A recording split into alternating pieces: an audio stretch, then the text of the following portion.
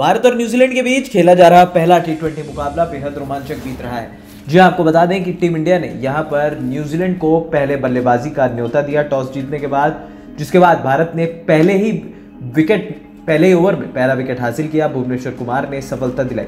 लेकिन इसके बाद मार्टिन गप्टिल और मार्क चैपमैन के बीच ज़बरदस्त साझेदारी हुई। चैपमैन 50 गेंदों में तिरसठ रन बनाकर अब रविचंद्रन अश्विन का शिकार बने। चौदहवें ओवर की दूसरी गेंद पर अश्विन ने सीधा एक कैरम बॉल डाली, उस कैरम बॉल को भेद नहीं पाए मार्क चैपमैन और सीधा बोल्ड हो गए। वहीं दूसरी तरफ़ यहाँ पर टीम इंडिया को दूसरी सफलता मिली है। जिस विकेट की तलाश भारतीय टीम को थी, वो विकेट भारत ने हासिल किया है।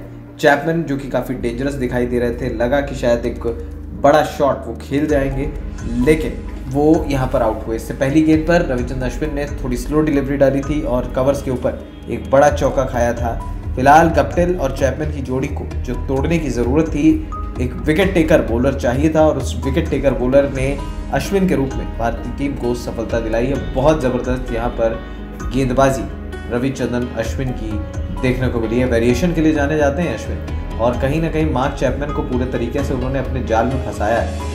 कहीं ना कहीं ये देखने वाली बात होगी कि अब टीम इंडिया यहाँ पर किस तरीके का प्रदर्शन करती है, क्योंकि भारतीय टीम को यहाँ पर जल्द से जल्द न्यूजीलैंड को बड़ा स्कोर बनाने से रोकना है।